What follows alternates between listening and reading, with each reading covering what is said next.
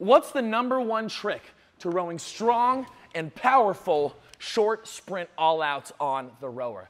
The trick is to keep your heels planted. When you keep your heels planted when you row and compress your legs to about 90 degrees or so, that moment right before your heels lift, when your heels are planted, this allows you to turn over your strokes quicker. As soon as you get up, you can jump right back. You get up, you can jump. You get up, you can jump.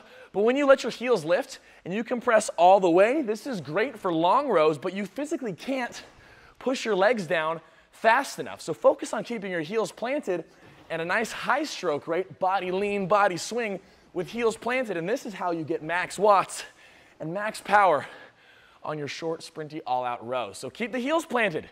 Do it! Now do it!